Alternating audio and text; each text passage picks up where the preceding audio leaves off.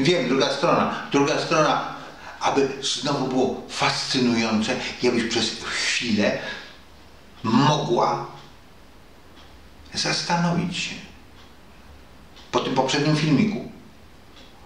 Bo jeżeli nie jest ważne, co ktoś o mnie pomyśli, to w jaki sposób to mnie dotyczy. Może również nie jest ważne, co ja myślę o innych. I to jest moje wielkie odkrycie. Nie jest ważne, co ja myślę o innych. Ważne jest, jak ja myślę o innych. Czyli ważna w tym momencie jest forma.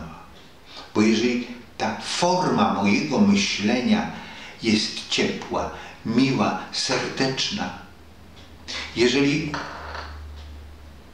o kimś myślę serdecznie, niezależnie od jego zachowania, to przyjmuję, że jego zachowanie może być spowodowane nie jego osobowością, ale tym, że go boli ząb, tym, że nie miał szans nigdy w życiu nauczyć się myśleć dobrze o innych, lub jego zachowanie może być spowodowane tym, że bardzo by chciał, że bardzo by chciał trochę czułości i nie potrafi się zachować inaczej bez tej czułości.